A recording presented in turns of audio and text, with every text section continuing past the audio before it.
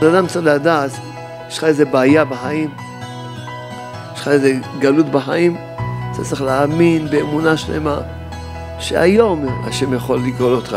קל מה להאמין? להאמין שכל מה שהשם עושה הכל לטובה ולהגיד תודה על הכל. בדיוק היום מישהו אמר לי, איך אני אגיד תודה? איך אני אגיד תודה?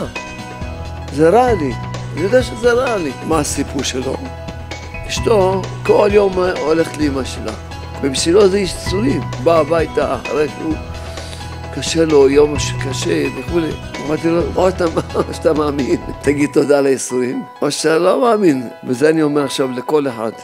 כל מי ששואל, אחד יגיד תודה, זה רע לי. אחרי 120 שנה יראו לאדם בשמיים ויראו לו שכל מה שעבר עליו זה הכי טוב בשבילו. ואז הוא יתבייש. בעולם, איך לא האמנתי בך? לא רק שלא האמנתי בך, התבכיינתי. כשאמרתי לו את זה, הוא התחזק. הוא אומר, נכון.